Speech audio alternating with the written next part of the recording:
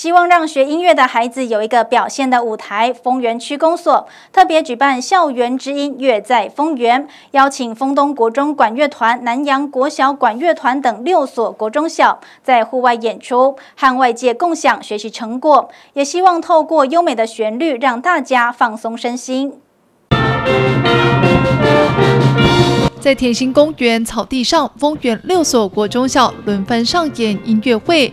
疫情趋缓，丰原区公所这一天特地举办这场校园音乐会，让在地学生有机会上台演出。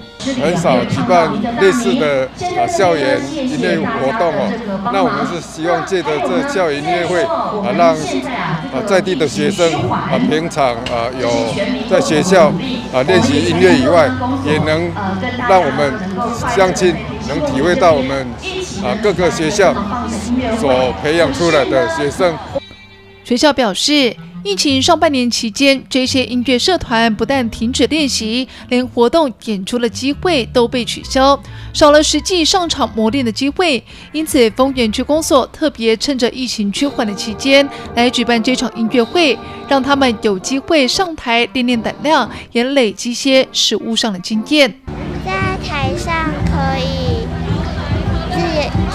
不会紧张吧。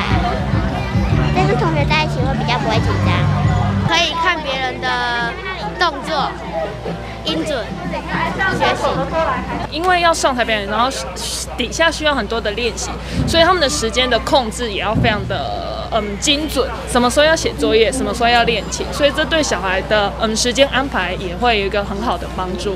六所学校难得齐聚一堂，让这场户外音乐会相当有看头，也赢得了不少家长跟民众的支持。而透过交流、观摩及学习，也让在地学生上了一堂课本学不到的知识。这里，将台中采访到。